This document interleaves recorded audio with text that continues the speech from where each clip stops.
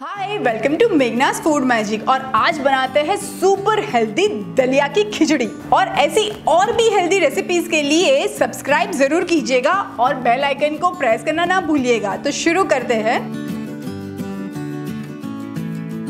मैं इसके अंदर डाल रही हूँ टू टेबल स्पून ऑयल और मैं डाल देती हूँ वन टेबल स्पून घी इसके अंदर। यहाँ पे मैंने दलिया को प्री सोक करके रखा है। पहले ही मतलब इसको मैंने तीन चार घंटे पहले ही भिगा दिया था और सोक किया हुआ राइस है।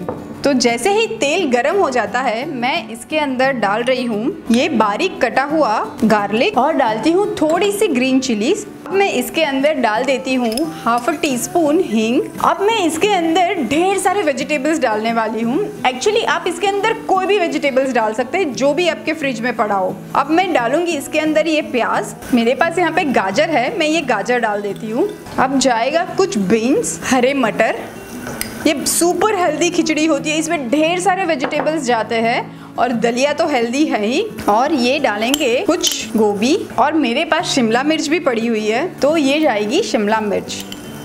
सब कुछ मैंने approximately one to two tablespoon लिया हुआ है और इसको हम मिक्स कर देते हैं। और अब डालते हैं सारे सूखे मसाले इसके अंदर। जाएगा वन टीस्पून हल्दी और जाएगा कुछ कश्मीरी चिली पाउडर मिक्स कर देते हैं।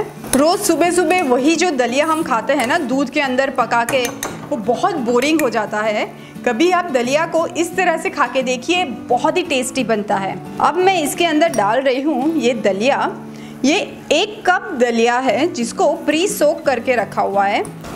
और इसके अंदर जाएगा ये हाफ़ कप चावल है। इसको भी प्री सोक करके रखा हुआ था।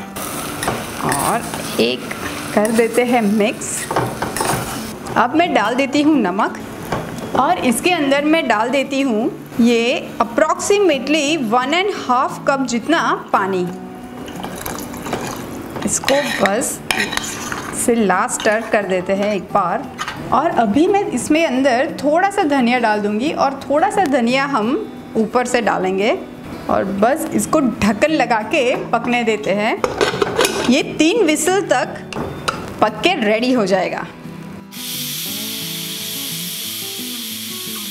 कुकर ठंडा हो चुका है। चलिए देखते हैं कि हमारी हेल्दी दलिया खिचड़ी कैसी पकी है। Wow.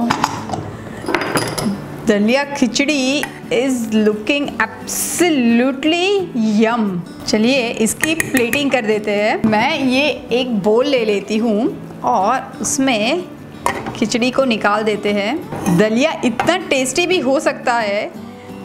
ये आप जब ये खिचड़ी बनाएँगे ना तब आपको पता चलेगा। और इसके ऊपर बस मैं रख देती हूँ थोड़ा सा फ्रेश धनिया। तो लीजिए, तैयार है सुपर हेल्दी दलिया खिचड़ी।